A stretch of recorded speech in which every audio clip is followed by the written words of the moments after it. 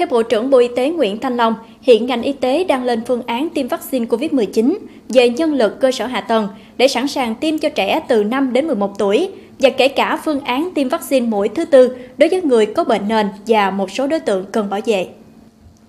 Thống kê trên cổng thông tin tiêm chủng COVID-19 đến sáng ngày 15 tháng 3, tổng số liều vaccine COVID-19 đã tiêm ở nước ta là gần 200,5 triệu liều vaccine. Trong đó, số liều tiêm cho người từ 18 tuổi trở lên là hơn gần 183,4 triệu liều và số liều tiêm cho trẻ từ 12 đến 17 tuổi là hơn 17 triệu liều. Trong chiến dịch tiêm vaccine COVID-19 lớn nhất đã triển khai thành công với hơn 200 triệu liều vaccine. Trong đó, tỷ lệ bao phủ tiêm vaccine hiện nay thuộc những nước hàng đầu trên thế giới và đã về đích sớm hơn so với mục tiêu khuyến cáo của Tổ chức Y tế Thế giới WHO.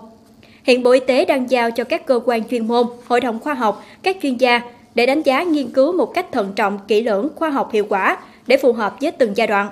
Bộ Y tế sẽ phân tích các yếu tố nguy cơ về những lợi ích và rủi ro để từ đó triển khai tiêm cho những đối tượng được đề cập.